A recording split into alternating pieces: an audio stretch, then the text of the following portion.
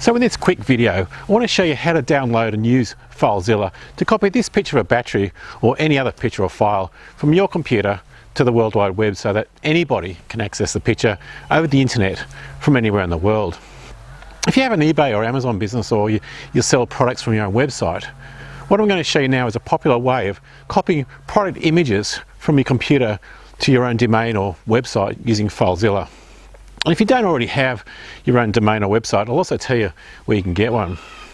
Okay, first thing you need to do is download FileZilla.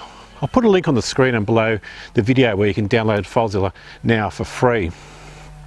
Once you've downloaded FileZilla, double click the file that's downloaded and FileZilla will open up as you know, the screenshot. Next step is you need to fill out the three boxes with information about your host um, username and password. You normally don't need to uh, populate the fourth field, which is the port field. Now for these three pieces of information, you need to contact the company who is hosting your domain name.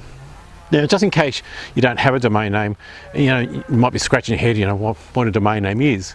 A domain name is a website name, i.e., you know, www.xyz.com or, you know, www.xyz.com.au or, you know, any other website address, .ifos, .ws's and a whole stack of others. Well, to get really back to basics, www is short for World Wide Web. And the other part before the .com or the .com.au or .info, or whatever, or any other extension, is a domain name that you've purchased, i.e. XYZ. Then after you purchase a domain name, you know, i.e. www.xyz.com, you need to get it hosted, which makes it live on the internet. Then you can use a program like FileZilla to copy files from your computer to your domain name. If you don't already have a domain name, I'll put a link on the screen and below the video you know, where you can basically where you can get one. Okay, back on track. Once you've opened FileZilla and you've entered in the three pieces of information that's you know your host, username and password, FileZilla will then basically split your screen in half. The left side shows you all the files on your computer, the right side shows you all the files on your domain. To copy a file from your computer to your domain, you simply just drag and drop it. In this example, I'm going to drag and drop a file in my downloads folder called battery.jpeg, or as known in the industry, JPEG. And then drop that into my image folder, which is on my domain neilwaterhouse.com.